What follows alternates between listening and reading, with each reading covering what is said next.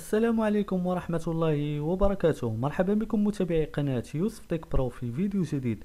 أعلن الجيش الموريتاني في بيان صباح اليوم الأربعاء عن وقوع اشتباكات بالخطأ مع وحدات الجيش المغربي المتمركزة على الحدود بين البلدين وأوضح بيان الجيش الموريتاني أن إحدى دورياته تعرضت لإطلاق نار مساء الثلاثاء بعد أن اقتربت بالخطأ من موقع دفاعي للقوات المغربية حين كانت الدورية تطارد مهربين في المنطقة الحدودية قرب بلدة إينال. وقال الجيش الموريتاني أن القوى المغربية اعتبرت الدورية الموريتانية هدفا معاديا ليرد الجنود الموريتانيون على إطلاق النار وفق قواعد الاشتباك قبل أن يتم التعارف ويفض الاشتباك مشيرا إلى أن الواقعة لم تسفر عن أي أضرار. هذا وتنشط حركة تهريب على المناطق الحدودية بين موريتانيا والمغرب خصوصا في ظل التوتر المتجدد في معبر القرقارات الذي يعتبر شريان المبادلات التجارية بين المغرب وغرب إفريقيا.